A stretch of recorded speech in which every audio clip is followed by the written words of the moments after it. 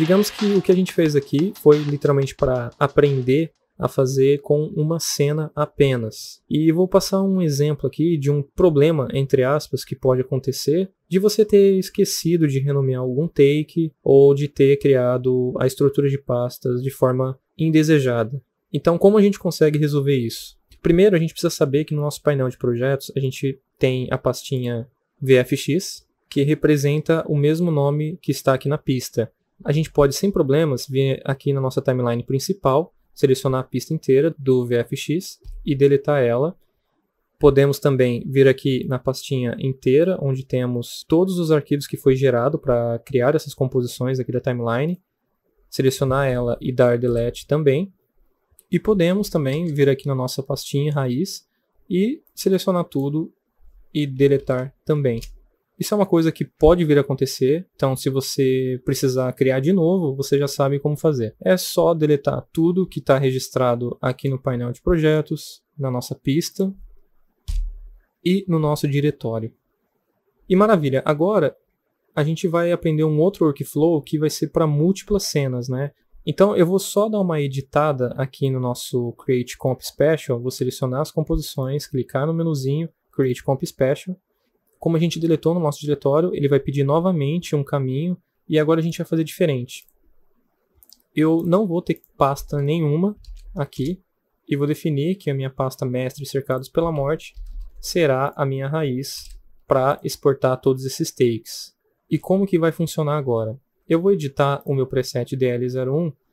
Esse CPM intro ele está puxando aqui de novo porque selecionamos o DL01, que ele tá, já estava salvo esse caminho. Eu vou novamente é, vir aqui e deletar esse CPM intro. Vou dar um open aqui. E agora a gente vai criar aquela pastinha mais. É só você selecionar a primeira pasta e clicar nesse ícone de pastinha. Clicou uma vez e a gente vai colocar entre chaves aqui sequence. Feito isso, a gente vai pegar, jogar ela para fora e colocar o nosso shot aqui dentro. E olha que interessante. É, o nosso caminho agora ele está totalmente customizável, ou seja, independente das informações que tiver nos nomes da nossa sequência, é, do nosso shot da nossa versão, ele sempre será substituído pelo que está aqui dentro das chaves. Então, agora, se eu clicar, por exemplo, na, na pastinha renders, no nosso render, ele vai falar que, que ele vai exportar os nossos takes para cercados pela morte, CPM intro a gente não tem essa informação aqui, ou seja, está totalmente procedural isso, ele está puxando do nome que digitamos aqui na sequência, pasta render e depois novamente shot, que é o nosso take 1, e a versão, versão 1. E aí eu confiro aqui, cut length está habilitado, e o start frame eu gosto de deixar para ele começar no, vamos colocar para começar no zero, certo? E agora eu vou clicar aqui para ele salvar o preset para a gente. E agora sim a gente não vai mexer mais nisso. Então agora a gente pode vir em Create Comp. Ele vai falar que já foi feito algumas mudanças no template, se a gente quer mantê-las, ok. Vamos querer que as composições sejam criadas em cada corte separado. E vamos dar ok. Ele identificou que antes foi criado também algumas composições, né? Mas que estamos agora criando umas novas e se a gente quer continuar. Então a gente dá um continue. Então agora, se a gente olhar a pasta lá, nós vamos ter aqui CPM intro e dentro todos os takes criados como a gente já aprendeu a fazer. Só que a diferença é que o nosso caminho está totalmente procedural. Então lá na nossa estrutura de pastas a gente definiu foi que o nome que tiver na sequência será o nome dessa pasta aqui.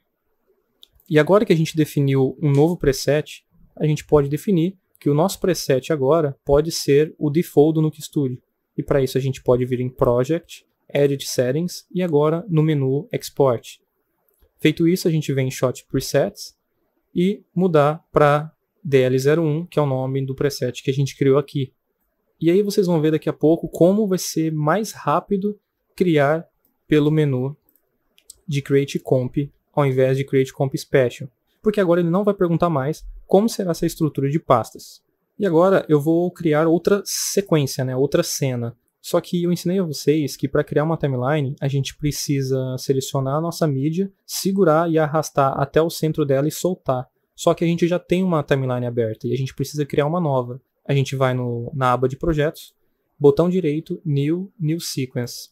Se a sua sequência for criada dentro de alguma pastinha, só você clicar no ícone, arrastar para onde você quiser. Eu gosto de deixar as sequências uma perto da outra. Quando você soltar, ele vai perguntar se você quer realmente mover esse item. Você fala que sim. E agora a gente dá duplo clique nela, né? Ela vai abrir a sequência para nós. E agora sim a gente pode clicar numa nova cena e importar para dentro da timeline.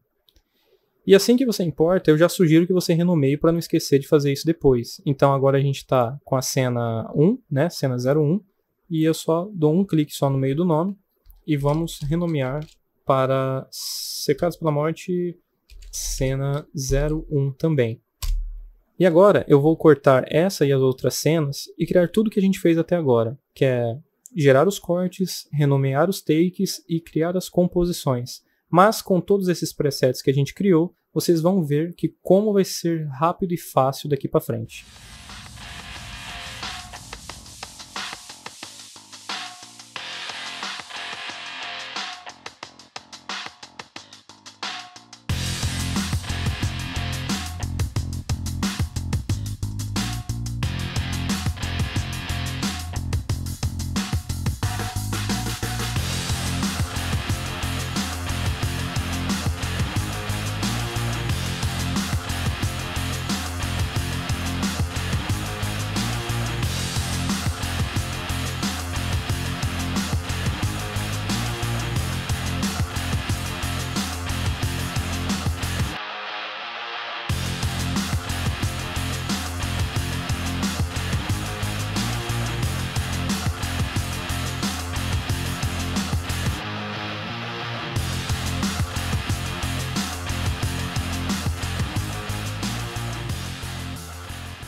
Então aqui está.